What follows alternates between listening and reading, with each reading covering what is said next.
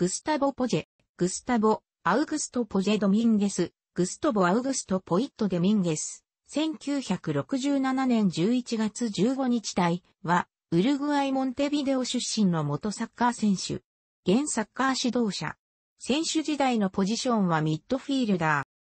ー。選手時代には、レアル・サラゴサや、チェルシー FC や、トッテナム・ホットスパー FC などに在籍した。スウィンドンタウン FC では、デニス・ワイズ監督の下で、選手兼任コーチを務め、リーズユナイテッド FC でも、ワイズ監督と一緒に働いた。トッテナムホットスパー FC では、ファンデラモス政権下のコーチを務め、2009年にブライトンホーブアルビオン FC の監督に就任した。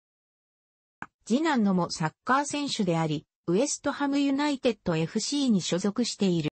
力強く得点力のあるミッドフィールダーである。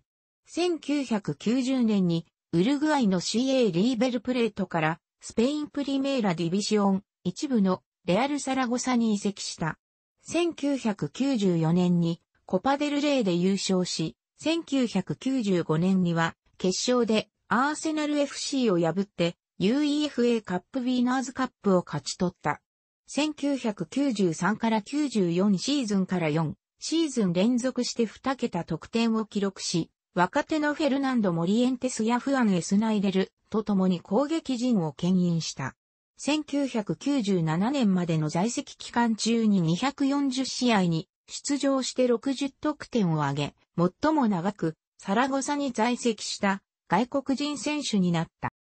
1997年6月、サラゴサとの契約が満了して、イングランドプレミアリーグ、一部のチェルシー FC に移籍した。十字靭帯断裂のために1年目は苦しんだが、1997から98シーズンの UEFA カップウィナーズカップ決勝の VFB シュトットガルト戦には間に合い、サラゴサ時代に続いて同タイトルを手にした。1998年の UEFA スーパーカップではレアルマドリード相手に決勝点を決めた。1998から99シーズンはリーズユナイテッド FC 戦で決めた貴重な決勝点を含めてチーム2位の14得点を決め、チームをプレミアリーグ3位に導いた。1999から2000シーズンのプレミアリーグではサンダーランド AFC 戦でスーパーゴールを決めるなど、チーム2位の18得点を挙げた。FA カップでは準決勝のニューカッスルユナイテッド FC 戦で2得点し、UEFA チャンピオンズリーグでは SS ラツィオ戦でロングシュートを決めた。FA カップ優勝、UEFA チャンピオンズリーグベスト8など1999から2000シーズンは好成績を収めた。2000年9月にクラウディオ・ラニエリ監督が就任し、チームには変革がもたらされた。ラニエリはチームの若返りを推し進め、余剰戦力となったポジェは移籍を志願した。チェルシー FC では145試合に出場して49得点を挙げた。2001年5月、約220万ポンドの移籍金でトッテナムホットスパー FC に移籍した。2001から02シーズンはリーグ戦で14得点を挙げ、フットボールリーグカップでは決勝に到達したが、ブラックバンドオーバーズ FC に1から2で敗れて準優勝に終わった。在籍期間中は怪我によって活躍をくじかれ、2002年8月には再び十字靭帯断裂の大怪我を負ったが、それでも98試合に出場して23得点を挙げた。1993年7月13日、ペルーとの親善試合で、カルロス・アギレラとの途中交代で、ウルグアイ代表デビューした。1995年のコパアメリカでは優勝して、大会最優秀選手に選ばれた。2000年までに23試合に出場して3得点を記録した。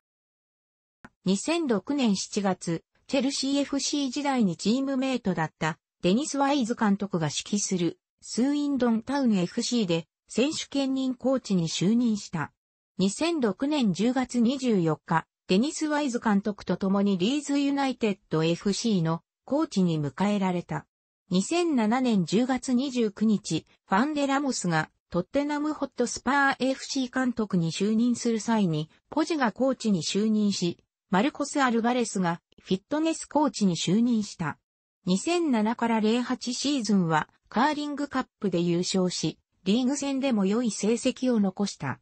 2008年10月25日、ラモス監督が解任されたため、アルバレスやスポーツディレクターのダミアン・コモリと共に、トッテナムのコーチ職を退いた。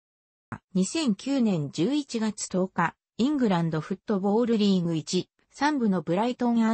ホーブアルビオン FC 監督に就任した。契約期間は1年半で、トッテナムホットスパー FC でチームメイトだったマウリシオ、タリコが助監督に就任した。2009から10シーズンは降格圏内を免れる成績を収めるなどチームを立て直し、ポジェとタリッコは4年の契約延長を果たした。2013年6月23日、解任が発表された。ポジェはこの時、FIFA コンフェデレーションズカップ2013スペイン対ナイジェリア戦の解説のため BBC に出演しており、試合中に番組スタッフから解任を伝えられた。2013年10月8日、サンダーランド AFC の監督に就任したが、成績不振のため2015年3月16日に監督を解任された。2015から16シーズン途中で、エックアテネ FC の監督を辞任し、2016年5月9日にプリメーラ・ディビシオンのレアル・ベティスと2年契約を交わした。2016年11月12日、成績不振のためレアル・ベティスの監督を解任された。2016年11月29日、上海緑地新加速級クラブの監督に就任した。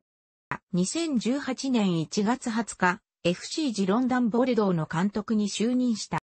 楽しくご覧になりましたら、購読と良いです。クリックしてください。